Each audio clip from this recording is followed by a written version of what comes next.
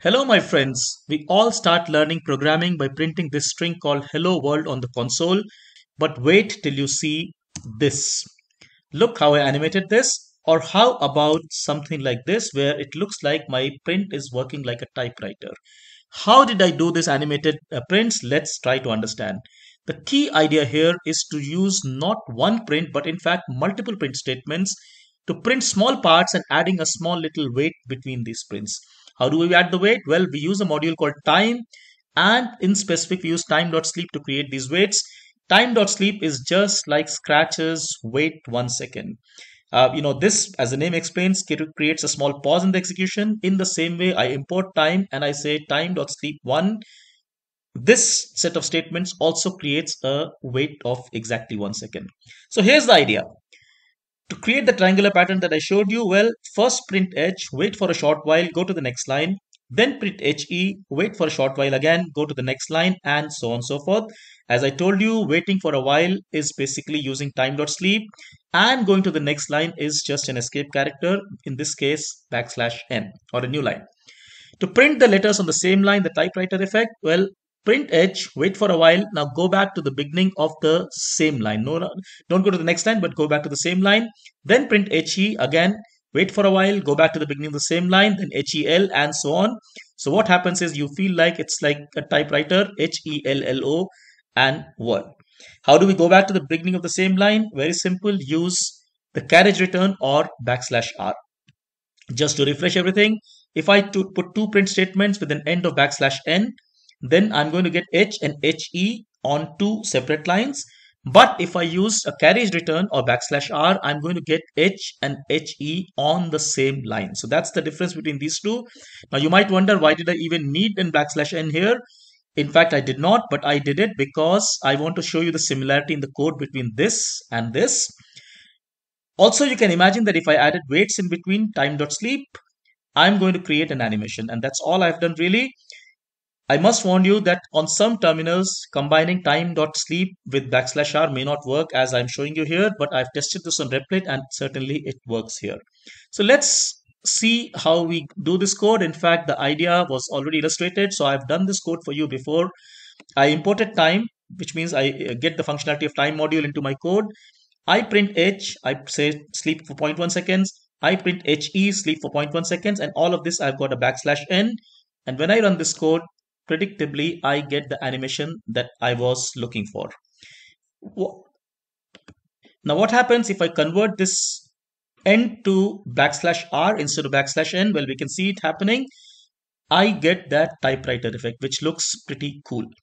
Now you might wonder that in reality, I may not know the string to which I'll apply this. And also you may see that this code is extremely repetitive. I'm just taking a part of the string, putting a time.sleep and just doing this again and again, there has to be a better way of writing this code. Well, certainly the answer is yes, though uh, that will require us to use some concepts which may be a little bit new to you. So do not worry if you don't fully follow this fully. You will eventually get there, but let me just show you how this is done. For example, let's say I might say, you know, I might ask my player his name. So I say player equals to input. For example, let's say, what is your name? Now I want to do some kind of an animation. So first I want to say print a hello for my player. I want to greet my player and then I want to do this animation. Now, like I said, basically it's matter of putting parts of this string player along with the uh, you know the the ending character and repeating this multiple times uh, uh, and, and the wait and repeating this multiple times in fact if you think carefully you'll realize that we are repeating this exactly for the length of the string that we are printing. So for hello world case, we are repeating 11 times. So what I'm going to do is to use a for loop here, which allows me to repeat along with giving me a variable to play with. Now, like I said, we repeat it for the length of the string. So I use some string functions here. Uh, it's okay if you don't fully understand this. Uh, we will get there eventually. But now what do I print? I print a part of this string. Now I do this by doing what is called string slicing. So I'm kind of starting on the zero, which is starting at the beginning, going to a specific portion. Now remember, this is a for loop, which means my kk is actually incrementing in this range.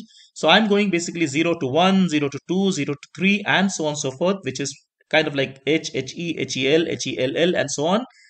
Most importantly i go and put my end statement of let's say uh, you know let's say i use this backslash r and i must go and say time dot sleep equals to say 0.1 i mean not equals to time dot sleep 0.1 now just to make all this you know clear where this gets over I, I go and print an extra statement and i also put a small little uh, demarcation here so that i know this has gotten here gotten over here right? So now when i do this notice what happens it says okay what's your name i answer Vineet and it prints very nicely for me that you know animation i can try this once again uh, now I'm no longer limited to a specific string. In fact, let's say I say Vineet Srivastava, which is my full name. It is going to say hello Vineet Srivastava because remember I'm repeating this whole thing for the length of the string. Now I could very well change the you know the uh, the uh, uh the what is it called end here the you know the escape character and the same thing is going to behave a little bit differently. Notice i got that animation once again.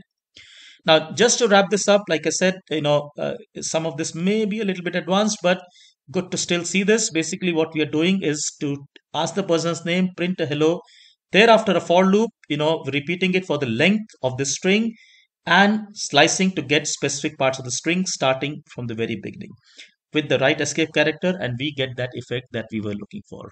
I hope this was interesting. Uh, take care. Thank you so much. Bye bye.